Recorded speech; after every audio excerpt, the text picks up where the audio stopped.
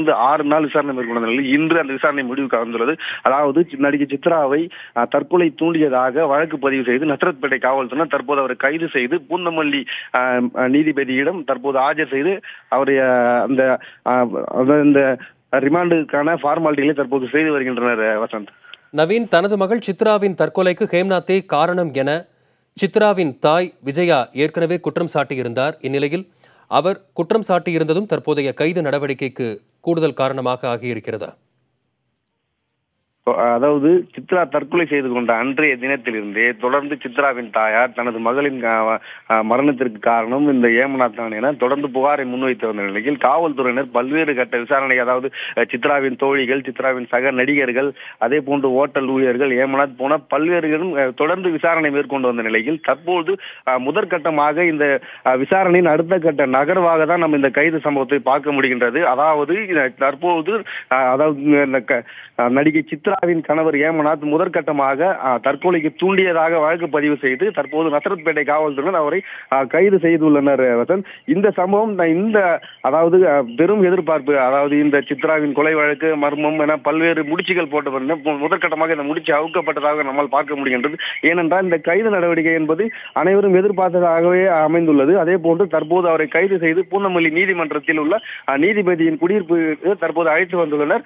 அது அடுத்த கட்டமாக அவரை புழ புழல் சிறையில் அடைக்க அடைக்கவும் திட்டமிட்டுவதாக காவல்துறை வட்டாரங்கள் தெரிவிக்கின்றனர் வசந்த். சித்ரா தற்கொலை விவகாரத்தில் ஹேம்நாத்தை கடந்த ஆறு நாட்களாகவே காவல்துறையினர் தொடர்ந்து விசாரித்து வந்திருந்தார்கள். அந்த விசாரணையில் என்னென்ன தகவல்கள் வெளியாகி இருந்தன நவீன்?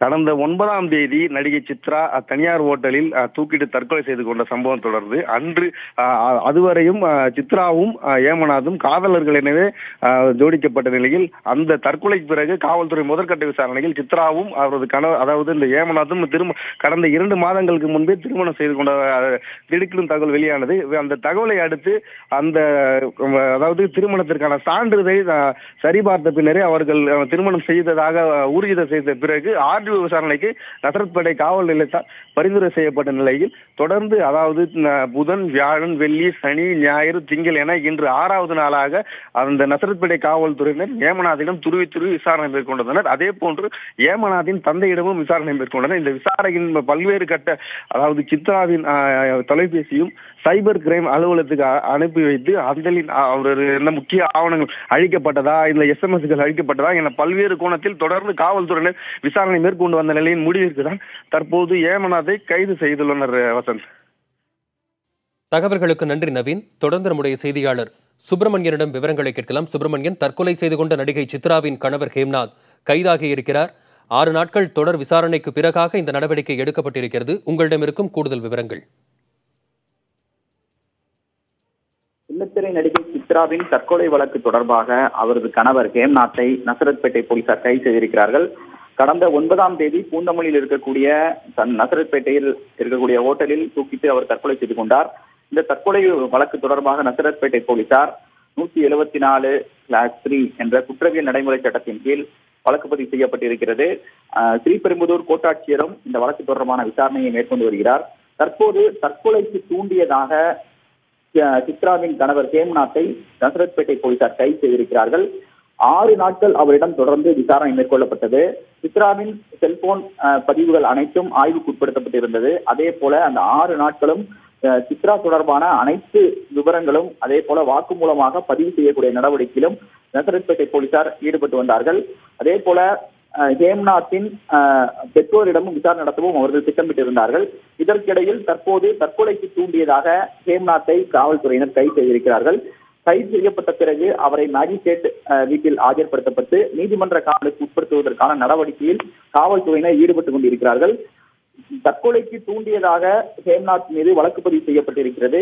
தற்கொலைக்கு தூண்டியது எதற்காக எந்த அடிப்படையில் இவர்களுக்குள் பிரச்சனை ஏற்பட்டது என்ற விவரங்களை காவல்துறையினர் இதுவரை தெரிவிக்கவில்லை. தற்போது அவர் கைது செய்யப்பட்டிருப்பதாகவும் தற்கொலைக்கு தூண்டியதாக வழக்கு பதிவு செய்யப்பட்டிருப்பதாகவும் என்ற தகவலை மட்டுமே காவல்துறையினர் தற்போது தெரிவித்திருக்கிறார்கள். மேலும் நீதிமன்ற காவலுக்கு உட்படுத்துவதற்கான நடவடிக்கையில் மேற்கொண்டு வருவதாகவும் காவல்துறை தரப்பில் தெரிவிக்கப்பட்டிருக்கிறது. நாளை ஸ்ரீபெரும்புதூர் கோட்டாட்சியர் திவ்யஸ்ரீ முன்பு ஹேம்நாத் அவருடைய பெற்றோர் ஆஜர் ஆஜராக வேண்டும் என்ற உத்தரவிடப்பட்டிருந்தது.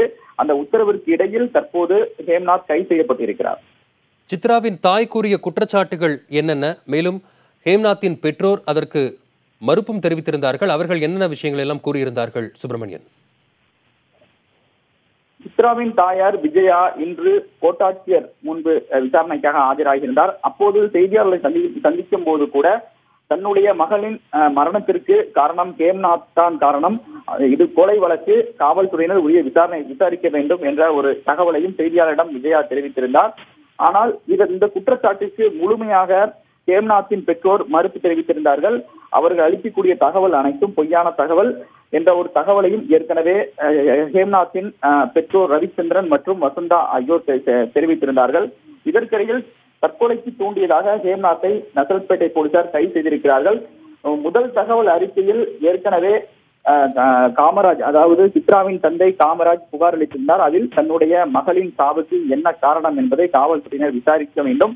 அதே போல எங்களுடைய குடும்ப விருப்பப்படியே சித்ராவுக்கு ஐம்பது சவரன் தங்க நகைகளையும் அதே போல மாப்பிள்ளை ஹேம்நாத்திற்கு இருபது சவரன் தங்க நகையும் வரதட்சணையாக கொடுப்பதாக அவர் முதல் தகவல் அறிக்கையில் அஹ், தெரிவித்திருந்தார். இதன் அடிப்படையிலும் தற்போது கோட்டாட்சியருடைய விசாரணை சென்று கொண்டிருக்கிறது. இதற்கிடையில் ஹேம்நாத்தை தற்கொலைக்கு தூண்டியதாக வழக்கு பதிவு செய்து காவல்துறையினர் கைது செய்திருக்கிறார்கள் தகவல்களுக்கு நன்றி சுப்பிரமணியன்.